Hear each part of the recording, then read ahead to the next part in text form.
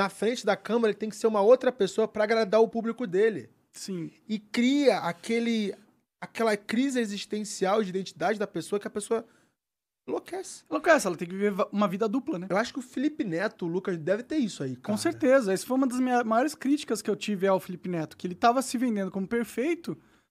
E a gente sabe que ninguém é, né, mano? E isso dá uma raiva, dá uma raiva de tipo, mano.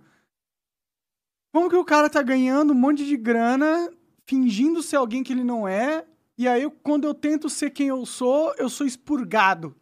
Dá uma raiva. Você fala, então o caminho certo é ser mentiroso, mas eu não quero ser, tá ligado? E isso dá uma raiva. Dá Mas uma é isso mesmo. Cara, eu achava que a autenticidade ganhava o jogo. Ser real. Eu ainda acho que é. Que ganha o jogo a longo Ainda ganha o prazo. jogo. No longo, pra... no longo prazo, é É. verdade. Porque, longo prazo. porque se você deixa de ser autêntico, vai acontecer com o Felipe Neto. O cara foi lá jogar bola e foi cancelado. Sabe um cara autêntico, incancelável? Danilo Gentili. É, com certeza. Você tá chegando no, no ponto Danilo Gentili. Tamo indo, ah, tamo tentando. teve essa daí do. que é do nazismo, não sei o quê.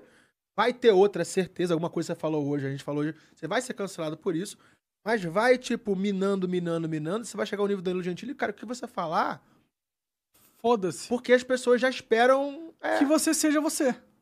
Isso é ótimo, isso dá é uma o poder, dá liberdade. um poder, uma liberdade do é caralho. uma liberdade do caralho. É a melhor coisa que alguém... Pronto. Silvio Santos. Cara, o Silvio Santos, ele fez cada comentário machista de, tipo, assédio às mulheres lá. Mas, cara, é o Silvio Santos. Ele tá velho, gagá. É, tipo, e é normal, é normal as pessoas terem comentário besa. Ele não assediou ninguém. Ele não estuprou ninguém. Ele só deixou as pessoas desconfortáveis com os pensamentos que eles têm, que ele tem. Foda-se. Essa é a sociedade, isso é a vida. A vida é você ficar desconfortável todos os Vou dias. colocar meu hall da fama lá, ó.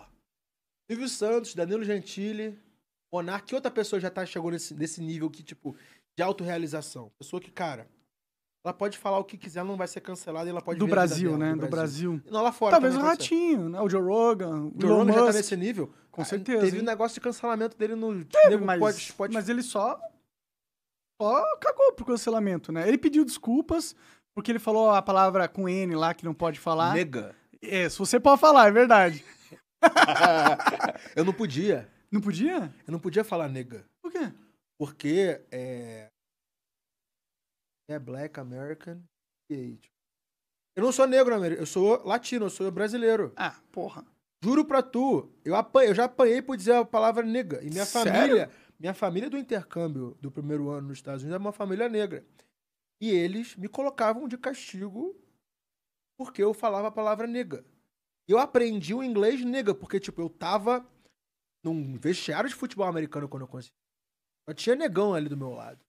E, cara, a cada ponto final de palavra é nega. It going, nega? Sim, É sim. exatamente isso. Mas eu e acho eu é nem- aprendi que ligou um papagaio. É, eu acho que não tem nenhum problema você falar ou qualquer um pessoa Ah, ele falou falar a nega palavra. mesmo, o Joe Rogan? Ele falou a palavra que é pior que, ni, que nigger. Nigger. Ele É, falou com er. Ah, é. entendi. E ele fez assim, né, tipo, meio que... Ele continua lá. Continua. Continua lá, ele pediu desculpa porque foi cancelado. Eu não sei se ele devia ter pedido desculpa, mas eu entendo, porque eu também pedi desculpa por uma, uma coisa que eu fiz. Mas que a- É, a, pressão é entendi. muito forte, entendeu? E a gente fica assim, fala, mano, ó, é isso, você quer que eu peça desculpa porque eu fui insensível de alguma forma? Tá bom, desculpa então. Mas eu acho que se pedir desculpa, você dá a vitória pro outro time. Eu Você- também não, acho. Não, tipo... Também Eu acho. fui cancelado uma vez, é, sem, sem razão, porque eu li os stories dos meus, dos meus Eu fiz um react. As pessoas. Eu perguntei assim, pra que serve o Nordeste? E meus seguidores estavam falando, ah, pra ser porteiro no Sudeste. Coisa assim, tá ligado? E eu fui cancelado porque eu li Leu é, uma reação. a reação dos meus seguidores. Fui cancelado. E, cara, Ryan pede desculpa, não sei o que. Ah, apanhei pra caraca, de Kay. Cara, viralizou pra caraca. Eu não pedi desculpa. Porque eu sabia que eu tava certo. Sabia que não tinha não sido fez nada ali, de não errado. nada Você de leu errado. um cara que fez uma piada meio bosta, mas é uma piada, porra. Foda-se, ninguém vai morrer porque Então, tipo, se piada. você não teria pedido desculpa, ou pudesse voltar no tempo.